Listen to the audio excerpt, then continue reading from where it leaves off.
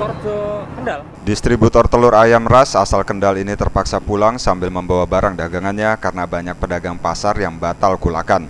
Ia hanya mengambil peti-peti kayu kosong sisa penjualan dari para pedagang di pasar Bandarjo, Unggaran. Biasanya dalam sehari ia mampu menyalurkan satu ton telur kepada pedagang. Namun kini hanya turun hingga 50 persen. Banyak pedagang pasar yang menolak mengambil telur dalam jumlah banyak dan memilih menghabiskan sisa stok. Sampai berapa banyak pengurangan? lumayan banyak. Sementara itu pedagang di pasar mengeluhkan harga telur yang masih membumbung tinggi, yakni Rp27.000 per kilogram.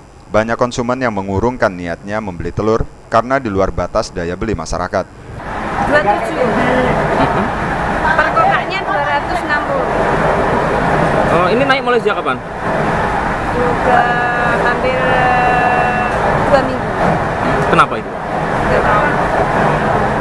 Warga berharap harga telur kembali normal, yakni di kisaran Rp20.000 hingga Rp22.000 per kilogram. Tim Liputan Diamond TV melaporkan dari Semarang, Jawa Tengah.